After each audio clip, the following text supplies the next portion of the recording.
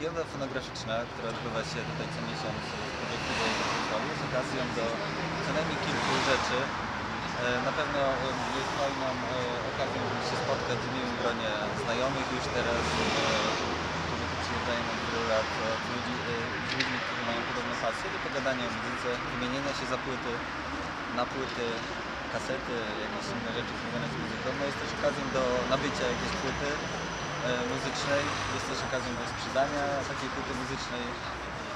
Jest też okazją, e, no to jest chyba takie fajne, do miłego, miłego spędzenia czasu tutaj e, w sobotnie popołudnie w. Teraz jesteśmy na dworzu, jak dopisała, więc pierwsza marcowa giełda jest już giełdą wiosenną.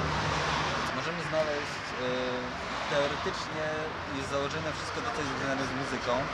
E, Przeważają tutaj nam na giełdzie płyty gramofonowe, ich jest tutaj e, pewnie najwięcej, ale są też inne nośniki, płyty kompaktowe, kasety magnetofonowe, tutaj widzę prasę muzyczną starą, e, archiwalną, bardzo fajną. Jeszcze można znaleźć? Czasami gramofony, czasami jakieś wkładki do gramofonów i, i wszystko to, o czym pewnie teraz zapomniałem. Plakaty bywają na giełdzie muzycznej. I tu jest e, też to jest taka, e, myślę, rzecz, która obowiązuje od początku. E, jest duża dowolność, to znaczy jeżeli coś jest związane z muzyką i ktoś przyszedł tu, żeby się z tym podzielić z innymi, no to jest tutaj mile, mile widziane. Jest po prostu giełda muzyczna.